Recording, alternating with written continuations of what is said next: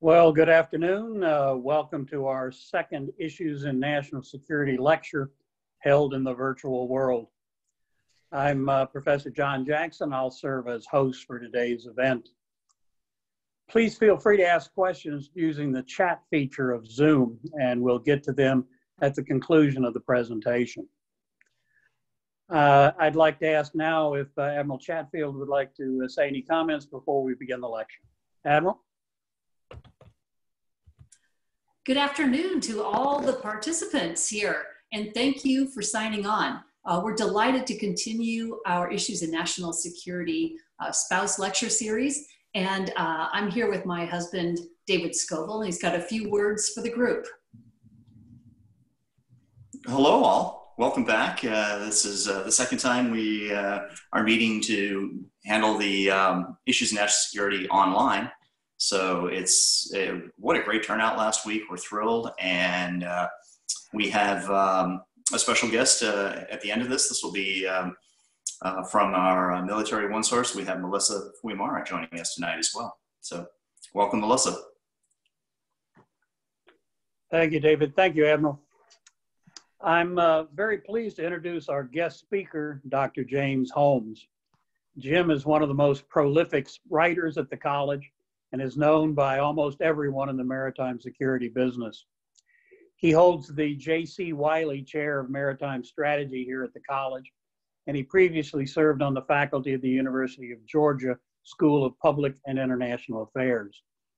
A former U.S. Navy surface warfare officer, he was the last gunnery officer in history to fire a battleship's big guns in anger during the first Gulf War in 1991. He earned the Naval War College Foundation Award in 1994, recognizing him as the top graduate in his class. The latest version of his widely read book, Red Star Over the Pacific, is a primary reading on the Chief of Naval Operations professional reading list, and most recently he published a brief guide to maritime strategy. I'm not exactly sure why, but former SecDef James Mattis considers him troublesome. His talk this afternoon will explain why it's so hard for the U.S. Navy to prevail in strategic competition or warfare in the Pacific, even though it remains stronger than its competitors. He will review geography, naval budgets, combat capability, and much, much more to show why there is a strong need to ensure that we are in the Pacific when we need to be there might arise. I'm pleased to pass the digital baton to a friend and colleague, Dr. Jim Holmes. Jim? Hey everybody! Uh, thanks, Captain Jay. Uh, Captain Jay was my actually my last boss on active duty, which I, which I always remind everybody. Uh, I'm thrilled to be coming to to you tonight, not from Spruance Auditorium, but some from somewhere along the shores of the Narragansett Bay to talk to to you about U.S. maritime strategy and zombies. I, uh, and you'll see why I've actually reached back to the to the pop culture as I as I go along.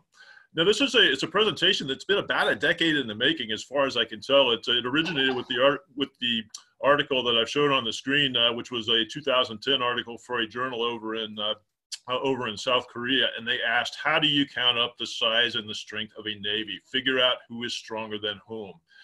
And as you uh, as you can see from the title of the simple talking points that you get, especially in election years, as I'll go through in the next uh, in the next hour with you.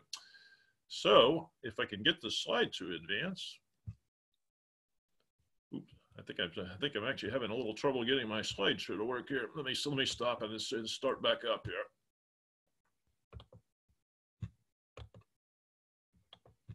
Okay. All right, now let's see what we can do here.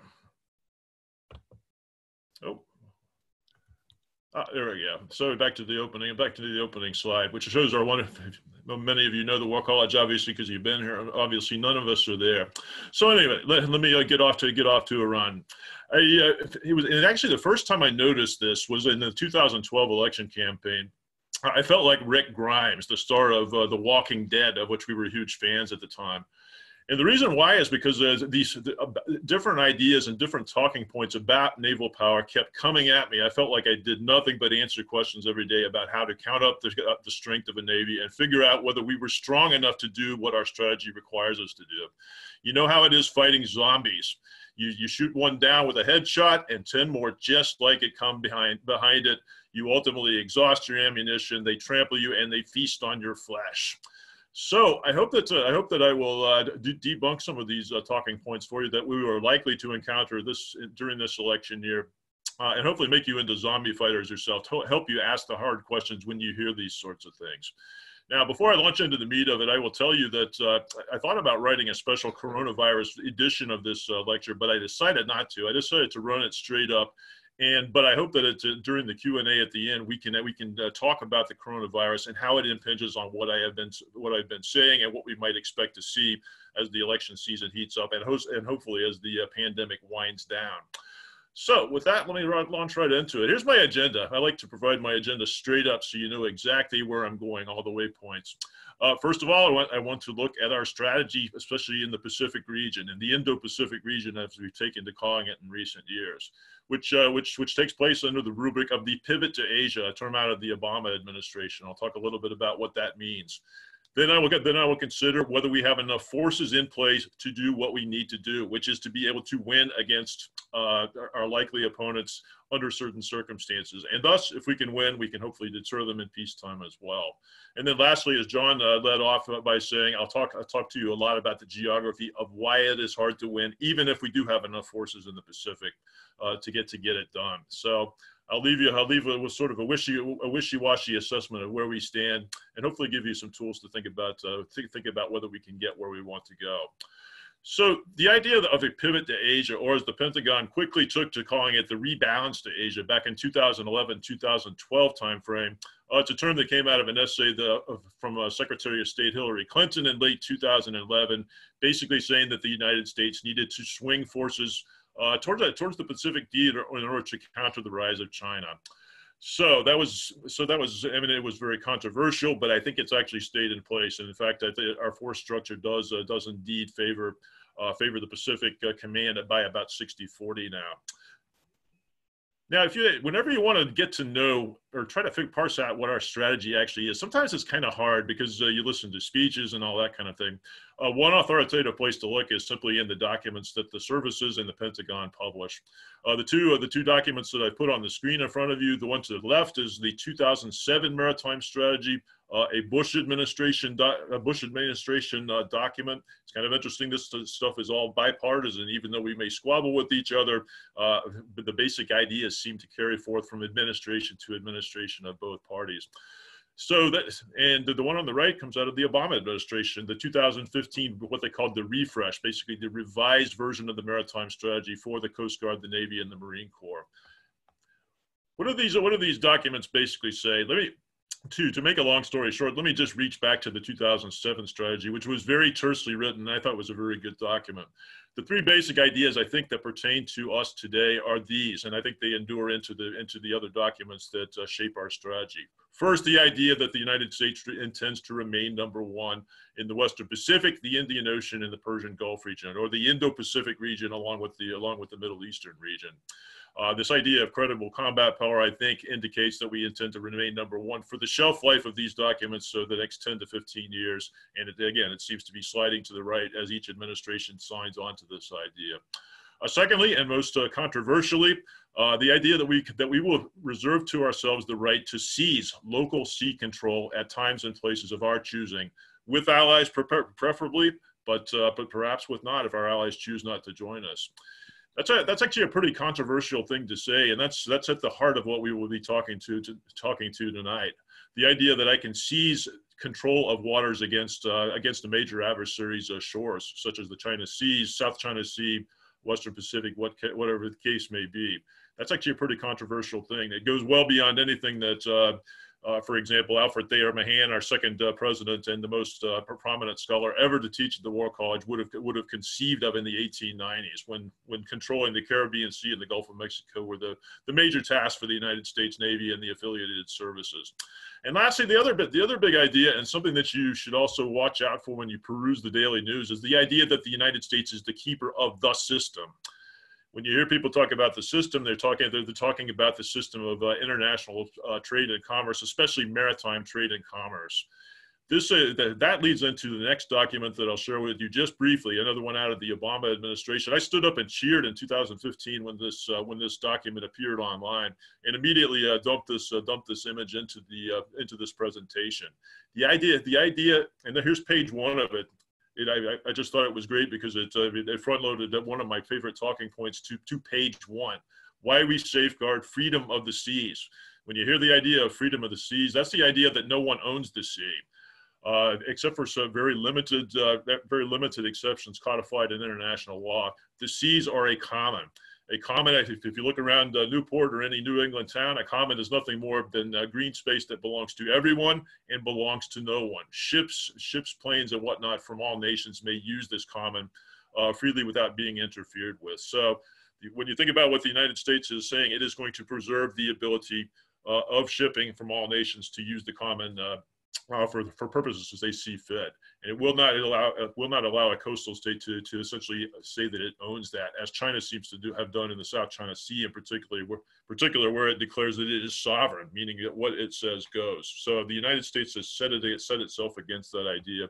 Uh, that coastal states can actually, in effect, own the sea yeah, why we safeguard the freedom of the seas. So that's a, but if you think about it, that's a really big task that we're talking about when you consider the amount of water on the earth, uh, the amounts of uh, potential adversaries who might challenge the freedom of the sea and so forth.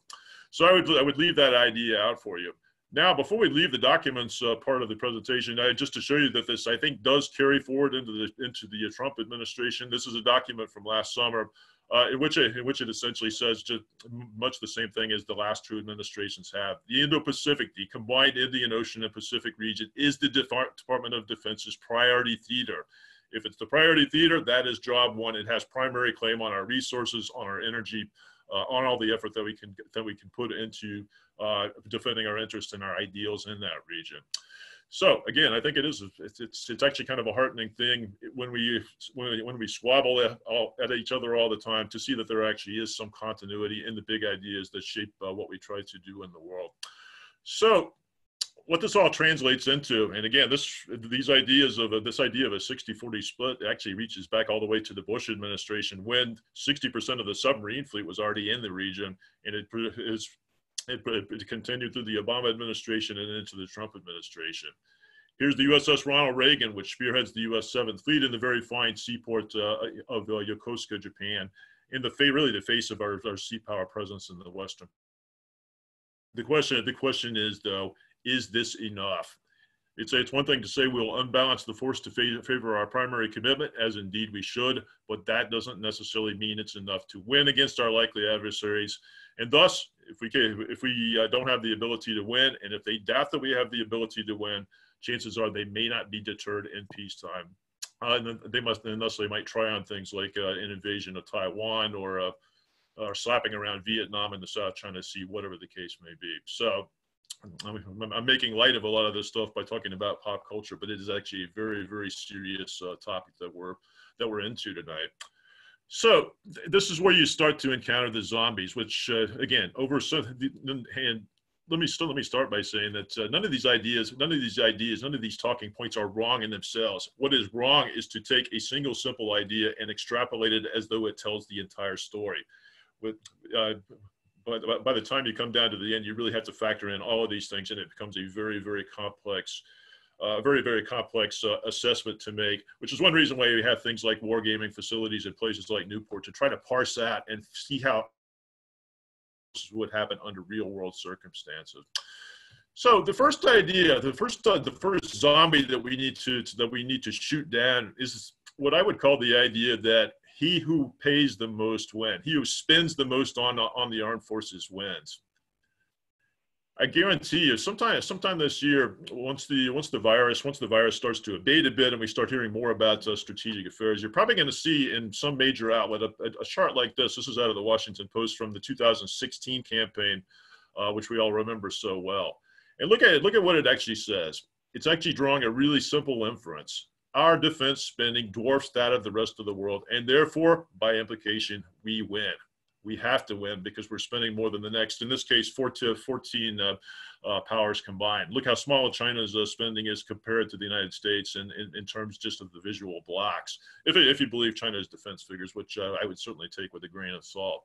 But the bottom line, again, it's it's it's really hard to extrapolate uh, from spending figures to strategic and operational and tactical effect- effectiveness. I mean, we a lot of our stuff. If you want to be the keeper of the system across the globe, if you want to, if you want to uh, police theaters from the from the Mediterranean Sea to the Indian Ocean, you have to spend a lot. This is a this is a picture of the uh, the USS Zumwalt, our latest destroyer, which is just now entering service. Uh, when it was sitting over at Pier One a few years ago on its way to uh, San Diego, the ship uh, the ship runs about 4.4 billion dollars last count. That's a very expensive piece of kit for a destroyer. So if you, when you look at our overall defense budget, yes, it is big, but things like this eat into it. Or how about aircraft carriers, which we're always hearing about, uh, whether they're survivable and this sort of thing. Uh, this is USS Ford, which has now uh, started to overcome its uh, its growing pains, thankfully. Uh, this ship runs about $13 billion, and that's just for the hull. That's before you start paying sailors, before, before you put supplies and ammunition on board, and before you put airplanes on board. So that's it. You take that $13 billion, put a couple of squadrons uh, of F-35s at about 100, 100 or excuse me, 100 billion dollars a pop. You're probably adding another couple of billion dollars and on and on. You're probably looking at, uh, when you look at the carrier and its escorts, you're looking at uh, probably over a $20 billion asset. That's it. You're talking about a large amount of taxpayer dollars. And again, something that will eat into, eat into that massive defense budget that we need if we're going to do big things in the world. But it, it, doesn't really stop there. That's just recapitalizing the surface fleet and, and naval aviation. Uh, a project that's about to get underway this summer, including right here on the Narragansett Bay over, over at Quonset Point, is the construction of our new generation of ballistic missile submarines at about seven billion dollars a pop. We're going to get uh, 12, we're going to get uh, 12 of those at about so for a total of about 84 billion dollars. Our uh, our ballistic missile submarines are wonderful, but they're but they're getting old and they have to have to have to be replaced. And this is a this is a project that's uh, the Navy certainly under Admiral Richardson before Admiral Gilday, our CNO. Uh, the Navy feared that it was going to eat up our entire procurement budget, even without buying anything else. So, we've got a whole lot of stuff that we're trying to do uh, in the two in the 2020s, and uh, I think that's something we really have to have a debate about as a nation. But even that, even that doesn't really uh, doesn't really tell the entire story. Uh, estimates have it that uh, a, a, Chinese PLA Navy sailor, or excuse me, the Chinese PLA Navy can actually put eight to nine sailors in uniform for the cost of one American sailor because we do pensions, we do healthcare, we do all that, so we pay more generously and so forth. We have high cost labor, much like in the old in the old in the old Top Gear. If you if you used to watch that, one imagines this uh, professional race driver, the Stig, is not low cost low cost labor to drive around these supercars. And I think that's really, really a metaphor for U.S. personnel policy uh, in the military. Yes, we should do it, but it is also something that uh, that uh, uh that that equalizes out defense budgets that are seemingly lopsided in America's favor. Bottom line, ask the hard questions when you hear this sort of simple metric, uh, indicating that the United States is fated to win because because it simply is not the case. This is not unimportant. It's not, uh, but it, it certainly does not tell the entire story. Okay, so let me move on to the next uh, the next fallacy that I would uh, call to your attention. I, and I would I would say this is a, I would I call this he who weighs the most. What do I mean by that? Well, I mean, you, you, get statements even from the greats in the field. This is a friend of mine. This is uh, Robert Kaplan, one of the great geopolitics scholars of our age. In stage in uh, Spruance Auditorium a couple of years ago, and he said that he said a striking thing. The United States Navy is the largest in the world by far. The Coast Guard is the 12th largest navy in the world. Well, he might say Bob might actually get an argument from he might actually get an argument from the former Pacific Fleet uh, uh, uh, intelligence chief, uh, Captain Jim Fanell, uh, who a couple of years ago did a did a wonderful chapter uh, projecting that the PLA Navy might actually have about 500 ships by the year 2030 at a time when the United States Navy is struggling to get to 355 that throws a little bit of a, I think that throws a little bit of cold water on the on the idea that uh, that we are so much bigger than the PLA. I mean, it just doesn't make any sense if you total up the numbers. Or how about Mike O'Hanlon, another one of the greats in the field of defense studies down at the uh, Brookings Institution, rightly observes that the Navy has emphasized uh, technology over numbers. Comes down in the same place. Our tonnage is still three times of China, that of China's. And that sort of starts to get to the nub of it. You're actually talking about aggregate tonnage of the fleet. You're not talking about capability or anything else like that. Our ships are bigger. Well, I mean, that's not, again, this is another uh, statistic that is not meaningless. If we want to do things in the Western Pacific, we have to carry a lot, more fuel, a lot more supplies. We have to bring all our ammunition and so on and so forth just to get into the theater. So, by, by simply by definition, we have to have more capacious vessels even to, even to get into the combat theater. But again, I think this is a this is a really misleading statistic. We, we, you simply can't say that because we weigh the most, we have the most tonnage in our fleet, that we that we win. So what? I mean, if you take that logic to its extreme, this is the most powerful warship on the planet Earth. This is the Emma Maersk out of the out of the Maersk line over in Denmark, uh, which bulks in about 550,000 tons. It's uh, it's about five times. It displaces about five times what the USS Ford does if you take it if you take it in terms of displacement which obviously makes no sense whatsoever. This is an unarmed freighter. It carries cargo. Is not a warship at all. But the logic of, of gross tonnage uh, makes that makes that a logical thing to say. So be, please do push back when you hear this sorts of this sorts of statements, assuming that the United States, because we have a bigger fleet in terms of size, is definitely going to win unless we're going to ram each other, I don't think it actually works. I mean, think about it as we try as we try to recapitalize the Patriots for the post Tom Brady era. Is this who Coach Belichick is trying to recruit to the offensive line, or, or let alone to the quarterback position? This dude's got a lot of bulk. He he he, he abides by the law of gross tonnage. But yeah, love that zit on his uh, on his gut right there. That's really that's really awesome. But if you if you want to actually have a metaphor that I think actually means something, and when you when you look at tonnage, turn to turn to sumo wrestling if this guy on on my right here, if that guy is a metaphor for the guys big and strong and bulky, if we take that to all our tonnage and turn it into effective combat capability, that's a cool thing. If we can sling the PLA, I'm uh, I'm pretty good with that.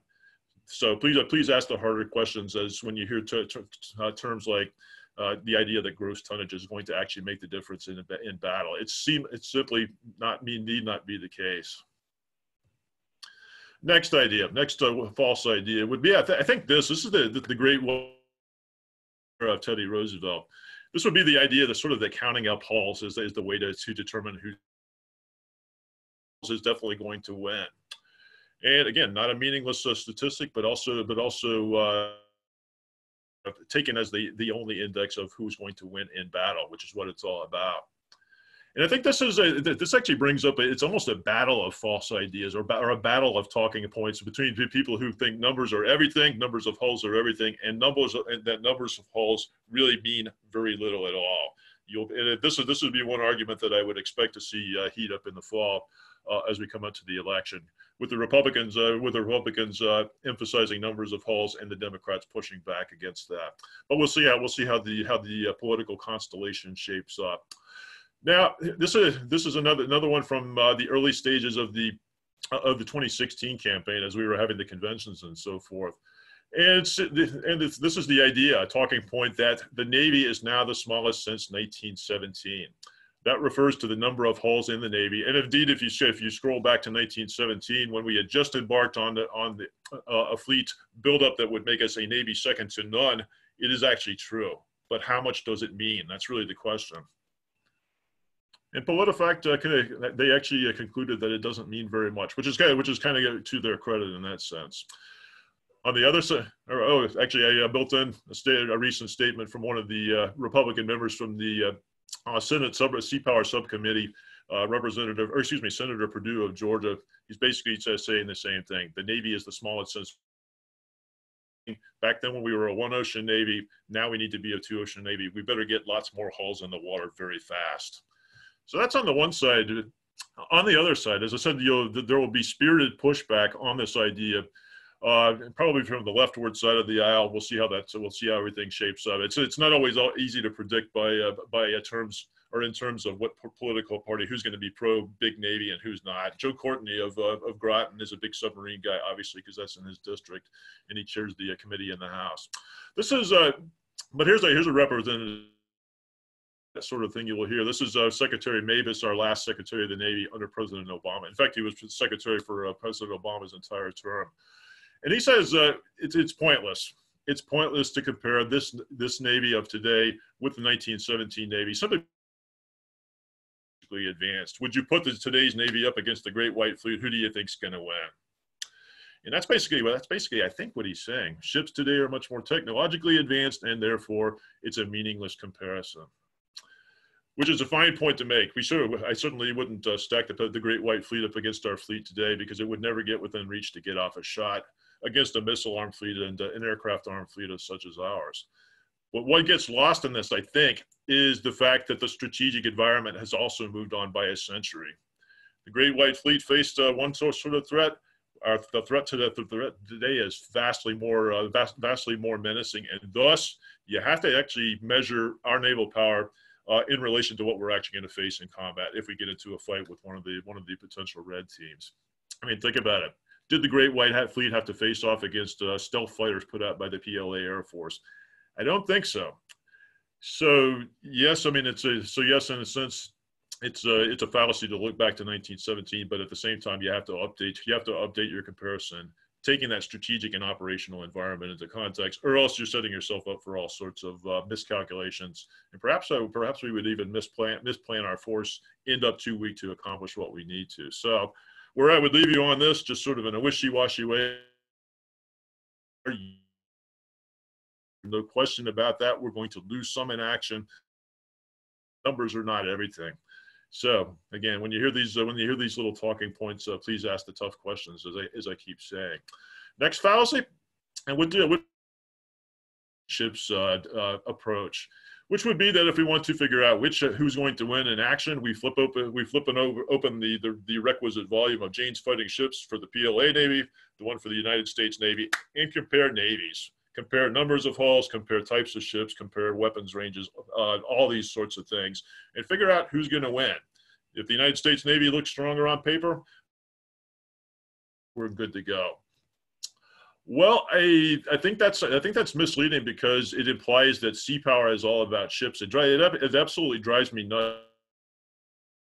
Uh, a Chinese carrier is not nearly as powerful as an American carrier, which is true, but also not really all that relevant it's these i mean if, if you look at what we are going to do and what we will talk about for the rest of our time together tonight you will see that uh, sea power is not all about ships and in fact i would say ships and fleets every day as land-based uh, weaponry uh, becomes more and more capable more precise and able to hit us out at sea I think this is the image. This is the kind of image I think people have in mind when they go comparing American destroyers to Chinese destroyers or whatever the platform uh, might be. This is a, an image from the Battle of Jutland in 1916, in which indeed the uh, the German Grand or the excuse me the German High Seas Fleet met the British the British Grand Fleet out in the uh, North Sea, remote from any shore-based weaponry, and they outside without any outside uh, involvement of shore-based defenses. So that I mean that's very much a Navy on Navy engagement. In, and in that case, the comparison makes sense, but it doesn't make sense anymore as I said a minute ago, sea battle today, maritime battle today involves a lot more than fleets. And we'll talk about some of the things that it does, does, does involve. In fact, it involves more than navies. I would say we are very much headed into an era of joint sea power involving not only the United States Marines, which is uh, which is remaking itself as a maritime force after uh, after over a decade of land battles, but also even the United States Army, which is taking its maritime role seriously, and even the United States Air Force, let alone our allies, which also have a stake in this in, the, in this fight as well. I mean, think about some of the things that land-based forces can bring to the fight out at sea. This is a squadron of Chinese uh, PLA Air Force fighters. If these things can range out over water, if they carry anti-ship missiles, they you have to you have to consider their firepower when you try to figure out who is going to win. It doesn't matter whether that anti-ship missile comes from a ship or from a land-based aircraft. If it's on the scene at the right place and the right time, it has to figure into the mix. And that's something that the battles of talking points, especially in an election year.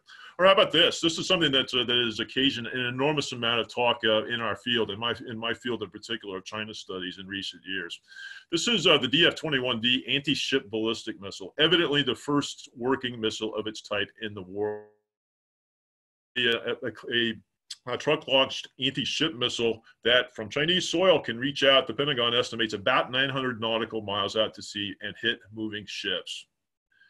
That means they can reach out and touch us long before we get to Japan, Taiwan, South China Sea, any potential combat theater.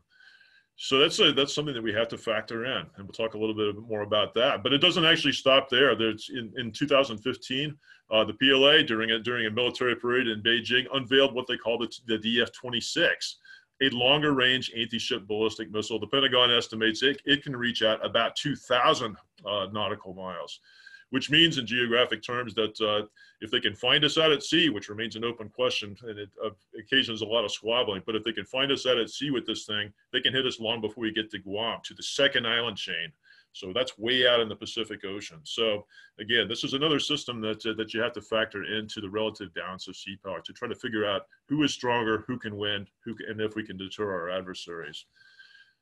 Here's a here's a representation. I'm not sure if this is out of. Can't remember whether what, what this comes out of. It might want to be one of the annual Pentagon reports on Chinese military power, which are very much worth your time. But it basically shows if you look at these range rings uh, encircling the Chinese coastline, these are, this this shows how far this hardware can reach out.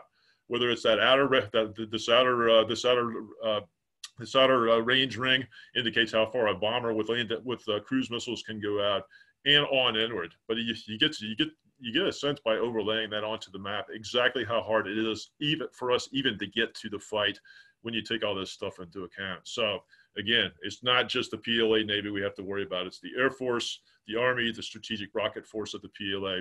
All these sorts of things can, can, can come into the fight and, and cause us harm. In fact, I mean, just a, just a couple of representative uh, uh, PLA Navy uh, supporting forces, not part of the surface fleet or the carrier fleet. But uh, I would describe the, the conventional submarine for, force still, even after all these years of Chinese military buildup, as the core of the PLA Navy as we've seen it take shape over the past uh, 20 years or thereabouts. These are things that can lurk offshore. They don't need to go at high, at high speed or anything like that. They can perform sentry duty and thus try to do us harm as we try to get to the fight. They can they can do us damage and thus make it hard for us to accomplish what we need to. Or uh, down at the bottom, the type the Type 22 Houbei catamaran. Uh, the PLA Navy's built about uh, uh, I think about 85 of these things at last count. Uh, each of which is stealthy, small, and carries eight anti-ship missiles. That's something again that's uh, that's suitable for lurking offshore, performing picket duty, and, per and perhaps obstructing our ability to get to the fight uh, in a timely manner. If we can't get there in time, we're probably not going to accomplish uh, what we need to, and therefore we have to take these things seriously. Kind of like this garish graphic right here uh, out of CFCA down in Washington a few years ago, just because it show it shows visually what happens as you approach the theater from Hawaii, from San Diego, Everett, Washington, whatever the case may be. You encounter more and more shore-based and sea-based uh, Chinese weaponry. You hit the yellow zone about the time you hit Guam, and it gets red as we approach our bases in Japan let alone uh, potential combat theaters like Taiwan or the Spratly Islands in the South China Sea or whatever. So this, I mean, this visually indicates the scale of the process of the problem, and also shows that it shows how seamlessly integrated land, land-based and sea-based uh, implements are for China as it tries to control and and limit our access to the potential combat zones. And just a little eye candy, something that's made something that's made a lot of uh, a lot of hubbub in the recent years since 2013, when China started uh, digging up and basically fortifying islands in the South China Sea and uh, and making things just basically adding another layer to this problem for the United States as we think about how to do things in that region. Or, or even this, I used to get laughs out of this when uh, back in 2012 when I first started talking about uh, the, the China Coast Guard and the fishing fleet, especially as the vanguard of Chinese sea power. But it's actually true. China has a China in the South China Sea in particular, but also in the but also in the, around the Senkaku Islands in the East China Sea has used has used the China Coast Guard as the implement of choice to solidify its uh, territorial claims to those waters and island features. But it's not even that. It's, it's but if you look into the fishing fleet, and this was uh, used to get the laughs. It's, I mean, it sounds ridiculous to think that a fishing craft is an implement of sea power. But if you embed a maritime militia, as China has done for many decades now, if you put that if you put that in there, you, you, all of a sudden you have an irregular force that's able to go up against uh, regional coast guards in the South China Sea, or even navies that are vastly outmatched by the PLA Navy. If you're if you're a Coast Guard, if your Coast Guard's more powerful than your adversaries, why not use that instead of sending a big hulking uh, destroyer and making yourself look like a bully? And that's a, that, and this is what China calls, uh, or that what we call, and what China is a practitioner of uh, gray zone operations. When you hear that term, it's, uh, we're talking about using implements such as these to try to accomplish big uh, geopolitical things. Bottom line, as we asked this young lady again, the, the strongest fleet, the strongest navy need not win in action. You, you have to keep the focus on the strongest force. And again, that's why we do things like wargaming at these uh, various scenarios, is to try to figure out who brings the most combat power to the decisive place and the decisive time, makes itself stronger and wins. And I think that, and I think that, I think we argue about this a lot because it's uh, the answers are really murky at uh, at present. Little little little quip from uh, from uh, Albert Einstein a century ago, and I would leave you with this: Not everything we can count counts. Not everything that can be count, or not that not everything that counts can be counted. You're leaving a lot of the human dimension out. You're leaving all of these a lot of uh, a lot of subtleties out of this equation if you just focus on navies uh, and try to figure out who's that has the strongest fleet sum up all these bad ideas, and you get stuff like you get stuff like this out of, out of another wonderful scholar. This is John Mearsheimer, Chicago, who basically concludes in his in his uh, well-regarded book. In fact, it's a, it's sort of he's field, but he basically concludes that the United States Navy and the U.S. military are 10 feet tall. We are unbeatable. Let me break down this passage from the intro to that book. What he's saying, parse what he's saying. It's really kind of striking. He says that he says President, present day China does not possess significant military power. It's a pretty strong statement that's uh, that's made itself it's made its navy into a blue water navy in a very short time has done all these other things that I've shown I've shown you on the screen. And here's how he here's how he justifies that conclusion. Its military forces are inferior to those of the United States think those two things necessarily go together. I mean, China, China, if you look, if you scope back over the history of communist China for the last uh, century, China has China's Red Army and now the PLA, PLA, PLA Navy, and, and the other arms have made a habit of winning. They have made a habit of be, being the weaker party and actually winning. They defeated the uh, they defeated the Chinese nationalists in the Civil War in the 40s, and they gave and they, and they gave and they gave as good as they got with the Japanese before that. And then, of course, there was Civil War even before the Second World War. So the weak can win. Do not do not be taken in by the idea that uh, the United States, just because of all these quantitative measures, is automatically going to win. So once you uh, once you once you accept those premises, though, it makes perfectly perfect sense to say that China will not pick a fight with us because they are inferior and so and so forth. So again, I think this is a, a deeply uh, flawed way of looking at the, at the military balance in the Pacific. Which brings us to the last point that I want, to touch, touch on with you, which is the geography, the geopolitics. The United States only plays away games. Think back to those strategic documents we led off. Number one in the Indian Ocean, in the Western Pacific, Persian Gulf, Mediterranean. To go a long way to get there. So geography works against us, and the adversary works against us as well if we get into a fight with that adversary. It's really hard to be the away team uh, team's home court or home field and prevail, just as in sports. Now, here's a uh, no no Naval War College uh, lecture is complete without a word. Grand 18th century Prussia, and he, he tells he tells us a very simple thing in many words, as he has a habit of doing. But here, let me break it down for you a little bit, and this is so you get a sense of what you're what, what our students are going to see now. And he said, if Clausewitz says the best strategy is to be very strong, which kind of makes sense. I mean, it's sort of, uh, you know, buy low, sell high type stuff. Go to Gold's Gym and work out all day and, uh, and make yourself. The, the nuances are a lot more than that. First, you want to be stronger on the whole. Yes, I would like to have a bigger, uh, bigger armed force. But the main thing is to be stronger at the decisive point. Where is the battle going to happen? If I can make myself stronger at that place in that battle, and it doesn't really necessarily matter what my strength is relative to my adversary. That's really the to improve your possibilities of doing that. Clausewitz wants you to stay concentrated so that you can hope to make yourself strong and win. So he, he proclaims that the highest and the slot or the, the highest and simplest commandment of strategy, if you if you will, is to stay concentrated. One thing for the United States to do, and that's a, a relatively easy thing to do if you're the if you're potential opponents of the United States, not only China but also Russia and especially Iran, nations that are trying to give us a hard time at. He follows up. He, he restates it a little bit more simply. He says, "Look, you have to employ such forces as you have with such skill that even in the absence of absolute superiority, again, the overall force structure, you do attain that relative superiority at the decisive place and time. You do that, you have a good chance of winning. And that's a hard, again, that's a hard thing to do for ourselves. Why is that the case? Well, Google uh, Earth, you can tell. I mean, look at the size of the Pacific theater, the one where we want to make ourselves master of for the for the foreseeable future. That can you can see the United States over to the right. You can barely see the Aleutians to the top, and uh, and China and Japan off to the left. That's a really hard theater to traverse, even in good times. Let alone if somebody is trying to obstruct our access to that theater. But we know we know that uh, zombies can swim, so let's figure out how we can slay them as they obstruct our thinking about the Western Pacific first and foremost, as I, as I just said, and any look, this is a big, big theater, biggest, uh, biggest body of water on the face of the earth.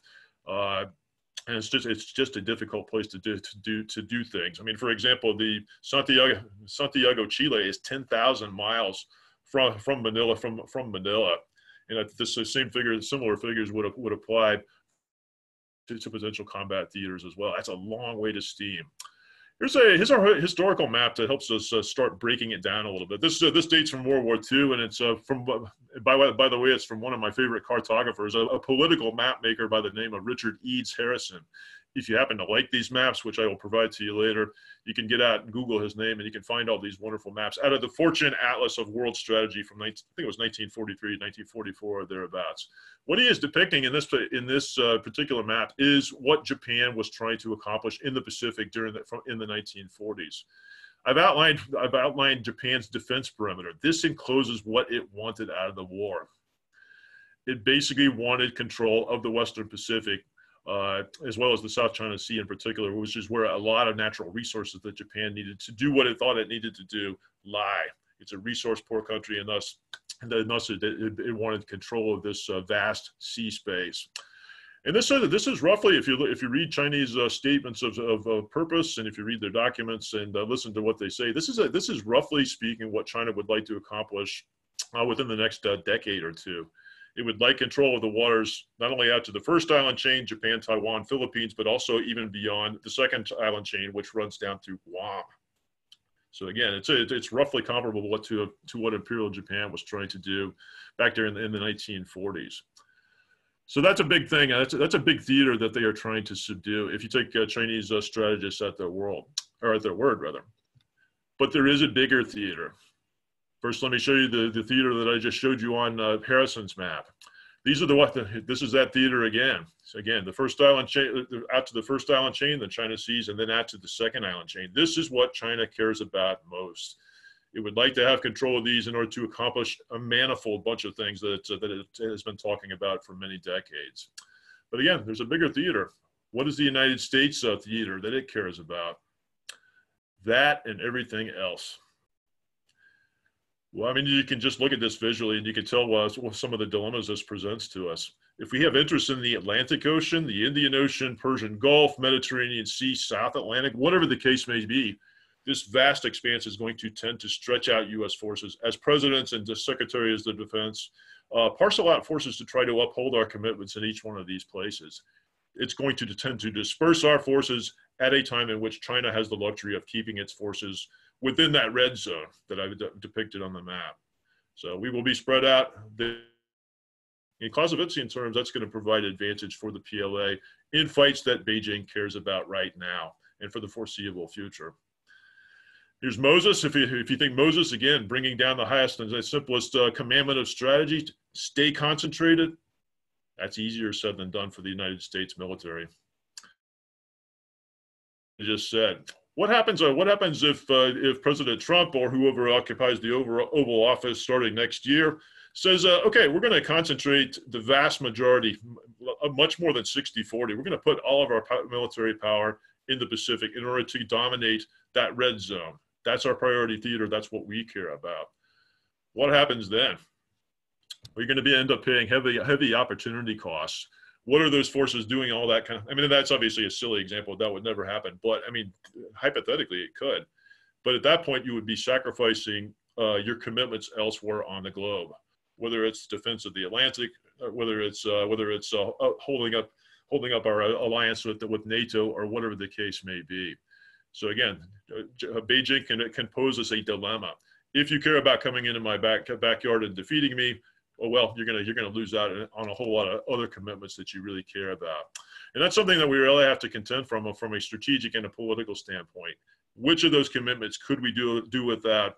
If we can't do without them then i think we're we're in, we're in real trouble in the western pacific. There's i mean there's just physical distance uh, think about think about there's just that sheer distance of the across the pacific ocean from that uh, google from that google uh, maps uh, or google earth uh, map i showed you a minute ago it's just hard to get there. Here's another map from Harrison from the Second World War showing the world divided between the Axis and the Allies. Those convoluted routes that our forces have to traverse to get to places that we care about, leaving from the East Coast to the West Coast, sweeping around the left side or the right side of Eurasia and Africa in order to get into the theaters. It's just not an easy thing to do, especially when you consider that a lot of these sea and air routes would be contested by any savvy opponent which uh, which Beijing most assuredly is. So it's a, so again, it's not just distance. It's not just it's not all those things, but it's also the fact that the adversary gets a say in whether we reach the reach the theater. We have to have bases in order to support our presence in these remote regions. This is a picture of uh, a picture of Pearl Harbor. The first time I went there in the in the mid '80s, late the late Cold War. Very big, very expensive, and very extensive basing facilities. Again, this uh, figures into that uh, that cost equation that we talked about uh, earlier on to wrap up the the geophysical aspect of it, this is a metaphor that I really like.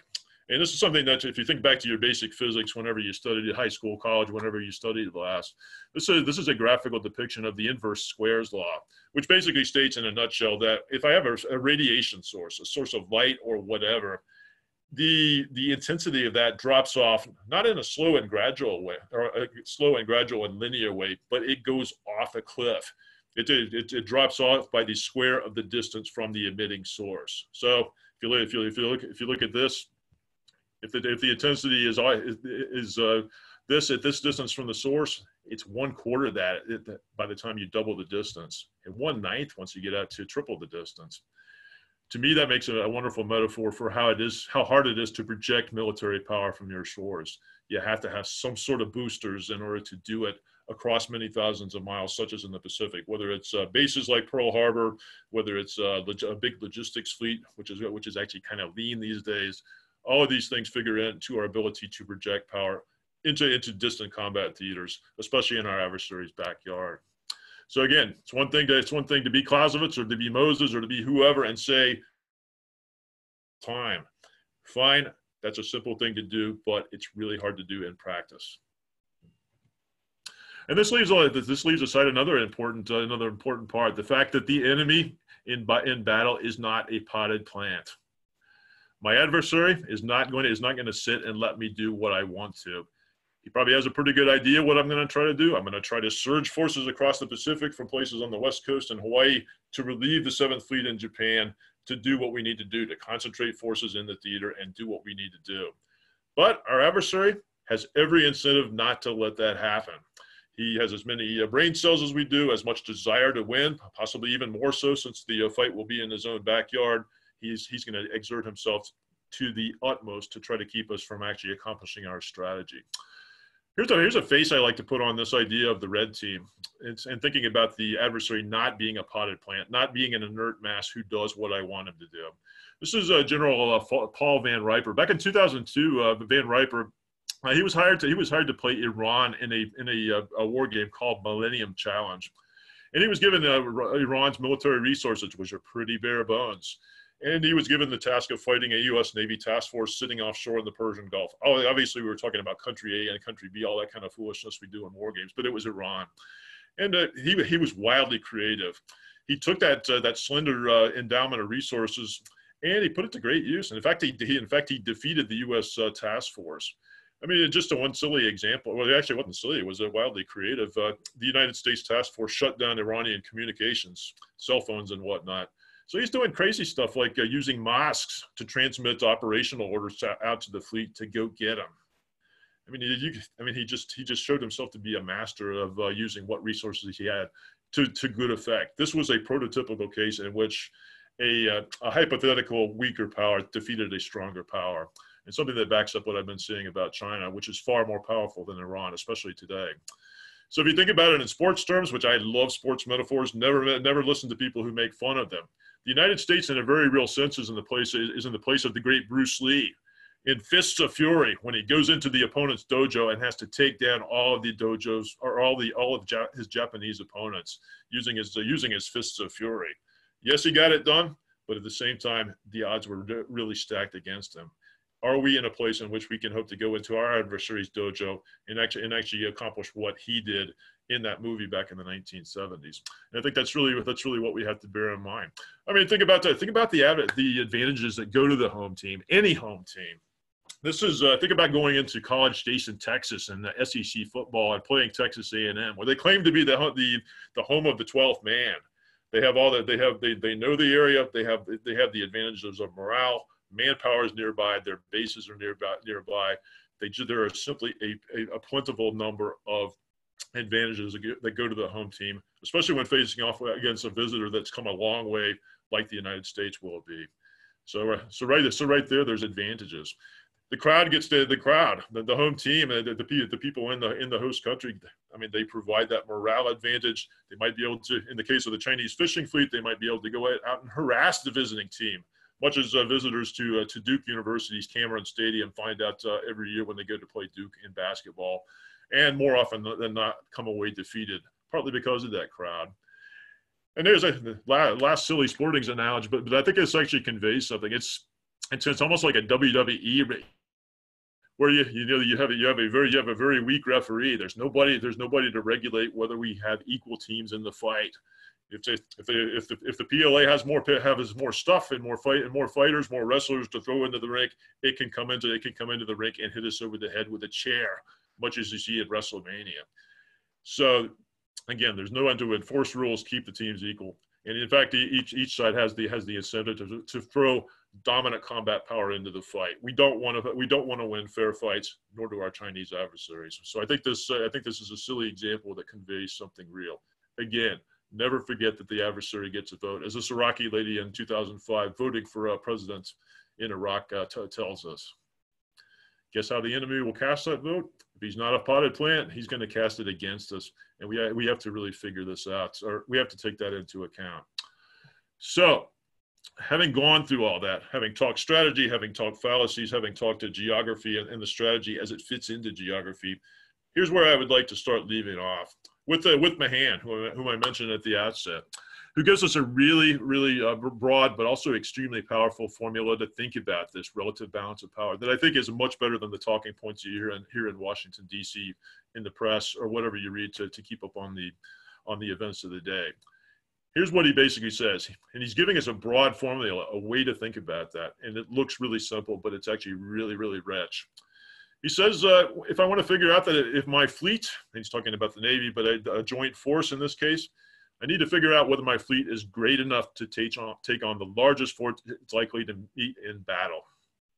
So this is sort of the, this, these are sort of the statistical measures. Do I have enough units? Do I have enough capability? Do I have enough uh, supporting uh, sensors to tell me where the adversary is? All, all these sort of basic assessment tools. So that's a, that's sort of the, that's sort of the stuff that you would lead off with those basic uh, quantitative measures. But then, that's where it gets interesting. And then he starts talking about risk. Can I fight with reasonable chances of success? Is my fleet strong enough and big enough to fight so that I have a reasonable chance of success? How much risk am I willing to run? And that's kind of that's kind of cool as well. I mean, you get into the psychology, you start thinking about uh, the president sitting back in Washington, wondering about uh, whether he should spend our forces lavishly for the for the value of the goal that we have at stake. All of these sort of political calculations uh, figure in. And lastly, this to me, this is the most powerful, uh, the, the, most powerful uh, word in the entire formula from Mahan. Likely.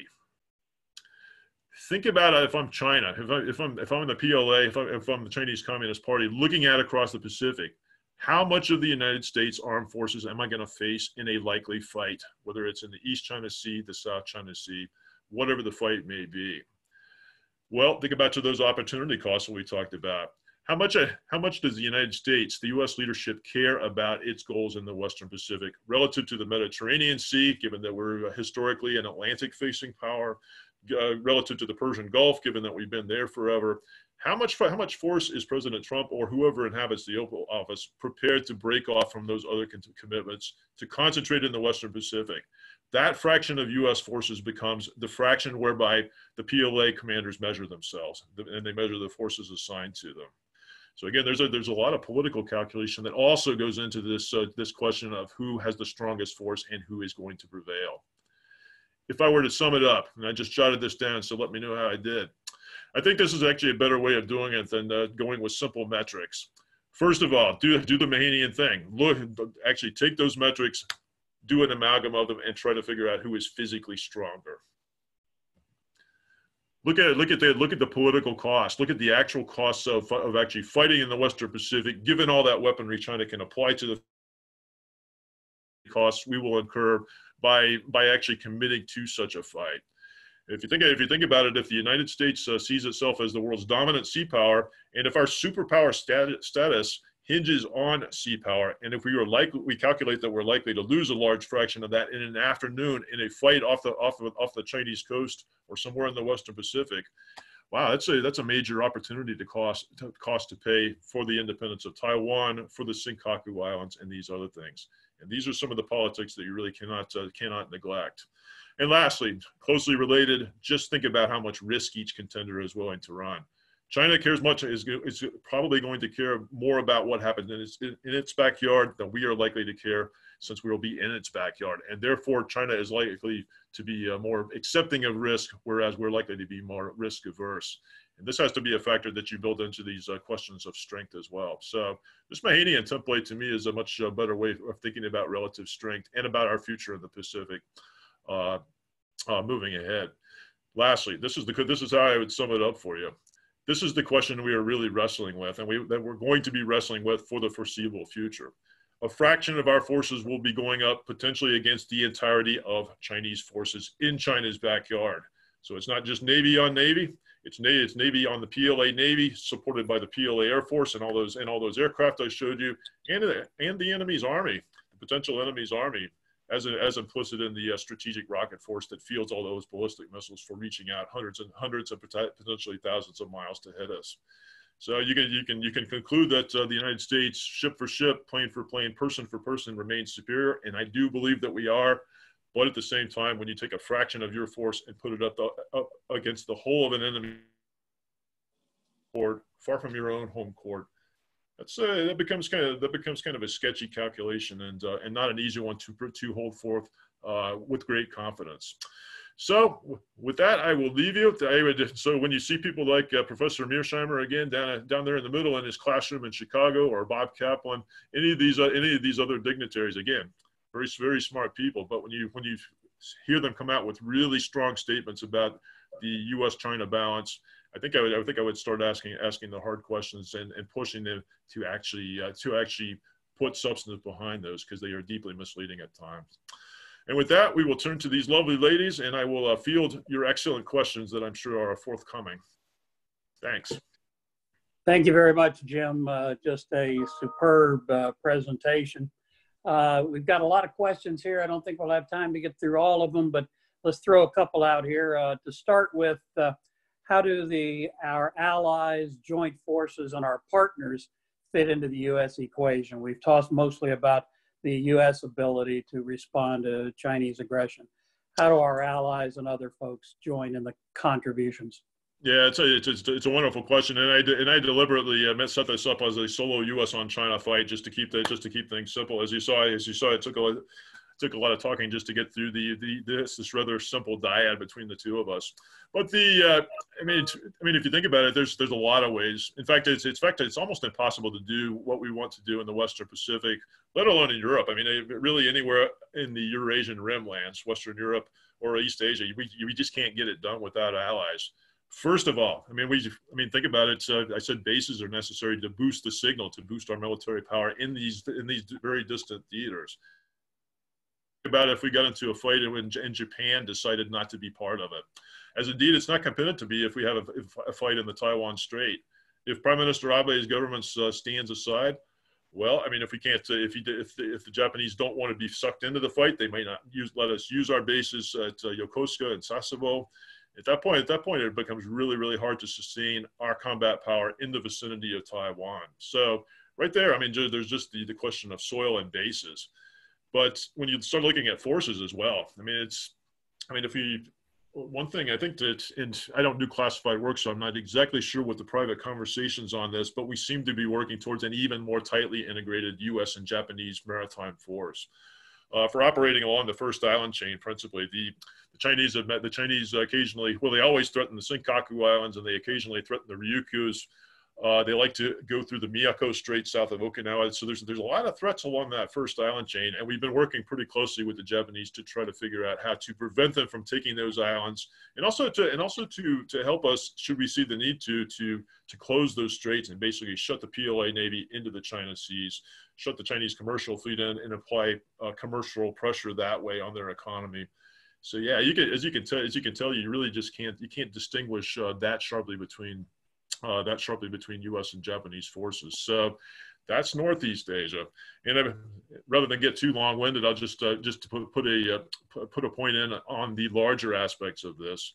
Uh, China, I've, I've, painted a pretty dark picture. I always do that, but uh, I think China has actually seriously overplayed its hands by being so bullying and by being so uh, aggressive not just this year. We can we can leave aside the coronavirus, but really when you look what it's over the last, uh, I would probably trace it back to Scarborough Shoal when it went into the Philippines exclusive economic zone and basically drove the Philippines out of waters where it has exclusive rights to harvest resources. It's been very very boastful, aggressive, and so forth since then. But the good news is that that actually starts driving driving together allies that are worried that are worried about Chinese aggression. I don't think we'll see a, an actual formal military alliance unless China does really something really, uh, really over the top aggressive. But at the same time, you, you've now seen uh, Australia, Japan, and the United States, the Quad, which we, we call it, start having discussions about a defense.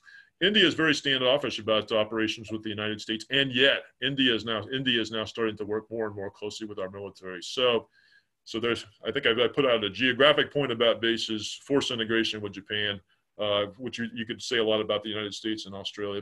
And then it's simply the larger uh, coalition aspects of this. The more China, the more China pushes, the more uh, coalition partners are likely to unite and push back.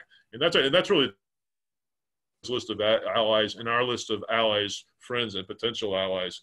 You're not going to take China's list of allies any old time. Who is it? North Korea? Yeah, come on. So.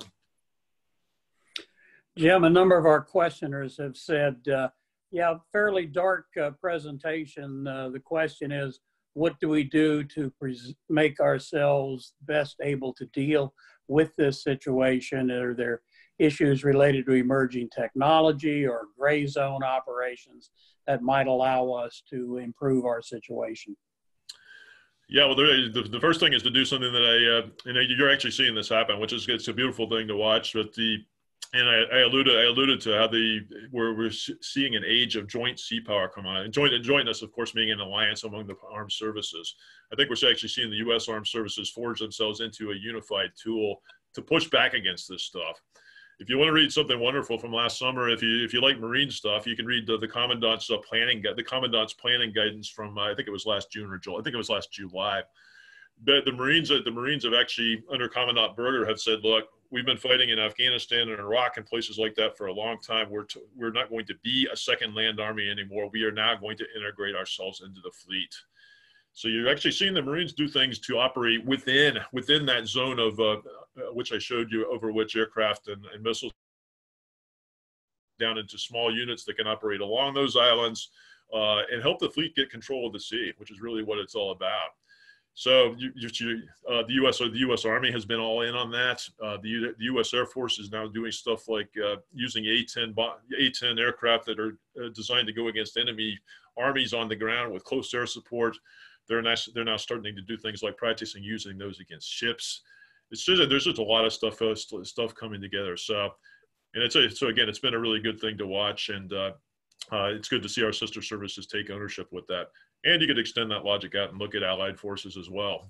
Royal Australian Navy uh, doing things with us in the South China Sea, which they've done in recent weeks to demonstrate against Chinese tactics there, and on and on. So basically, we just need to get together and, and try to make ourselves a cohesive force able to operate at, at a long distance uh, from our shores. Uh, one final question, Jim. Uh, to what degree do you believe the Chinese underreport how much they are spending on defense and are we able to see behind that curtain enough to know how big a challenge it actually is? Yeah, I, I, I would hesitate to put a number on it. I think figures that come out of Beijing, and not, it's not just coronavirus figures, but uh, figures that come out of Beijing are worth what you pay for them. Uh, whether it's GDP figures, uh, I mean, think about GDP figures to just to take it out of the military realm a little bit uh, the Chinese Communist Party over the last over the last 30 years, since really over the almost 40 years now. Yeah, actually over 40 ever since China started its what they call the Reform and Opening Project to the world, this economic opening project. The Chinese Communist Party has has, has tethered its political legitimacy to to providing a constantly upgraded standard of living for the Chinese people every year. So if you think about that, that gives them an incentive to uh, to, to uh, uh, to drive up GD figures by a certain percentage every year. And who, I mean, who's who actually oversees those figures? It's, there's really no oversight at all. I think that plays. I think that that also plays into the military budget as well. Uh, so yeah, that would that would be very skeptical. You'd have to you'd probably have to ask people in Washington who do a classified work and watch this kind of stuff to get a clearer signal. But uh, but yeah, it's I would I would hesitate to guess. But uh, but yeah, yeah. Again, I would would not uh, I would not take those at face value at all especially especially given the advantages that they have. They might be able to do more with less as long as the fight is close in, which is what they care about. Uh, last comment, Jim, your uh, latest update on uh, your most recent book uh, on maritime strategy. Any any plug you'd like to put in before we sign off? Oh yeah, yeah. I want I want whoever runs the Navy's uh, the Navy's reading list. I hope they'll put that on there pretty soon. John runs it. I, I, I, I think I know. Plug, no, it's, a, no, it's actually it's actually one that I would uh, that I would uh, actually commend to the audience, especially, especially the spouses out there. It's it's it's a really short book. Like it's called a brief guide to maritime strategy, and it's I wrote it as a I wrote it as a lesson to myself 25 years ago. What would I have liked before I actually started learning about maritime strategy? Uh, to its credit, the Navy and the Sea Services have, have, recognized that it's it's a good thing to start having strategic literacy, pretty much out of the your uh, out of your commissioning source, whether it's ROTC, the Naval Academy, or whatever. So it's a short, accessible book that's designed to help those youngsters come up to speed fast. And I think it would also be helpful for for people who aren't Sea Service practitioners as well, if you want to get a quick a quick and dirty on how this stuff works. So I reached back to Mahan, to the other greats like Corbett, and I, I put my own uh, special sauce on it as well. All right, Jim, well, thank you very much. Uh, it was an outstanding uh, presentation. Uh, I'd like to thank everyone who dialed in for uh, participating this afternoon. Yeah, we'll pause it. for about 30 seconds here and then we'll switch gears for our family discussion group. So once again, thank you all for participating. Uh, next week, we'll be back same time, same location to talk about humanitarian uh, assistance. Thank you very much.